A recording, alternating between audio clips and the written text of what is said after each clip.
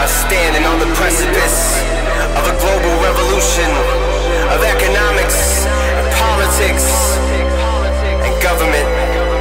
Welcome to the blockchain. Power corrupts. Money is power. The power to control the money is one that is now in the hands of those who pretend we can't function without them. So how can we do something about it? Working hard to get a raise, lifting that wage up. Inflation takes it like a hidden taxation. Manipulated interest rates to give the banks a way to create money with the loans that they're giving out daily. That means our money is debt, and we gotta pay back more than a hundred percent. No wonder then why the middle class is going under when the ones above them gotta cover and come to collect. And many have no access to banking Making payments or saving so more fees are taken. And every day the gatekeepers are trying to stop change. We cannot wait, welcome to the blockchain. Welcome to the blockchain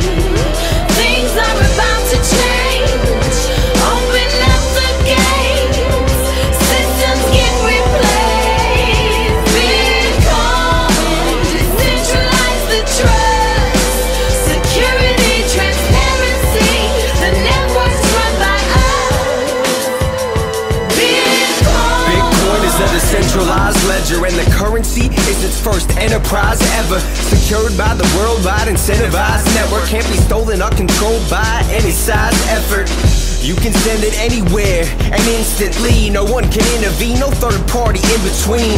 There's no counterfeiting algorithms control the outer limits of how many coins can get released. Programmable money, no government can seize it Payments can be customized by sender and receiver Contracts written, cementing your agreements With terms that can't be met once you consent then it completes it Autonomous businesses are possible when profit is distributed amongst those adopting it. Paradigm shift, we must adjust to the ending. With the blockchain, Bitcoin is just the beginning. Welcome to the blockchain.